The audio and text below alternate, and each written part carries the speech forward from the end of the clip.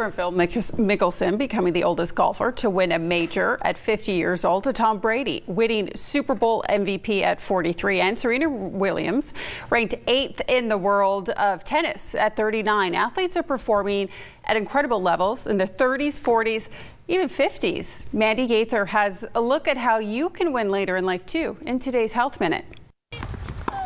From tennis to football and golf, some of the greatest athletes are proving it's never too late to win. Over the past few years, uh, we have noticed that athletic longevity has been increasing, and athletes, some of the best athletes' performances have been at a higher age than prior. Dr. Sunitha Posina, who practices internal medicine in Stony Brook, New York, says athletic bodies are built over time. It takes a lot of consistency, discipline, uh, laser focused goals of what exactly they want to be. No matter your athletic goals, Dr. Posina says balance is key to maintaining a healthy life. She says to set simple health goals, use social media or search online for nutrition plans that you can stick to, or keep track of what you're eating through an app. Choose a form of physical activity that works for you and manage your stress levels. If you have significant uh, amounts of stress,